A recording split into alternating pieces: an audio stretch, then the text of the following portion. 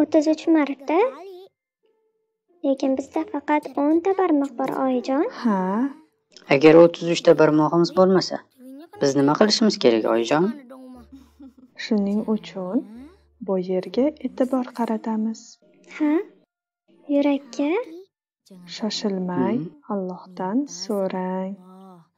Zikr va duo qalbdan chiqishi kerak shubha va shaytonning vasvasasidan qutulish uchun. Abdulloh ibn amr roziyallohu anhu rivoyatida men rasululloh sollallohu alayhi vasallamni tasbehni o'ng barmoqlari bilan sanayotganini ko'rganman deganlar.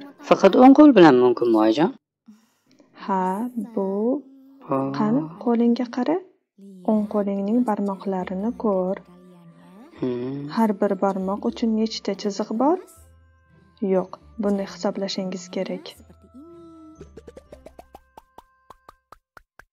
O'ttiz o'ttiz bir bir o'ttiz o'ttiz ikki ikki o'ttiz uch. o'ttiz uch. E to'g'ri ekan oyijon o'ttiz uch marta ekan.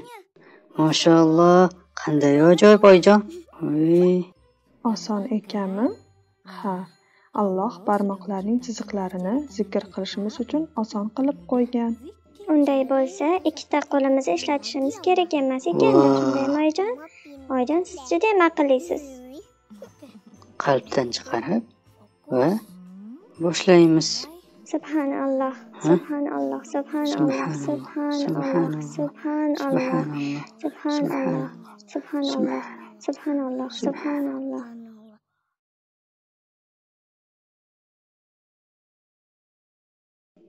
allohu akbar allohu akbar. men tugatdim. e qolganlar qani?